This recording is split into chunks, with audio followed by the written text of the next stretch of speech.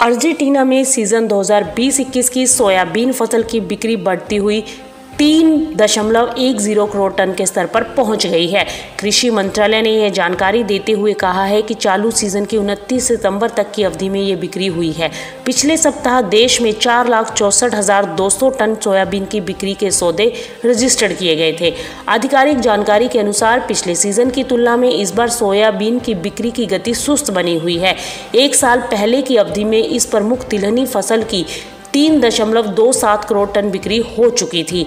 वहीं सीज़न 2020-21 की सोयाबीन फ़सल की अर्जेंटीना में गत जून महीने में ही कटाई खत्म हो गई थी और इस बार इसका चार दशमलव तीन एक करोड़ टन उत्पादन हुआ है।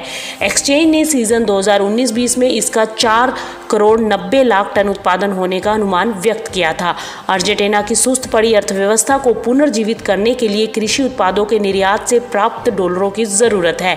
अर्जेंटीना में सीज़न 2021-22 में आने वाली सोयाबीन फ़सल की इसी महीने बुआई शुरू होनी है। एक्सचेंज को उम्मीद है कि सीज़न 2021-22 में देश में सोयाबीन का चार करोड़ चालीस लाख टन उत्पादन हो सकता है। Bureau report, market times TV.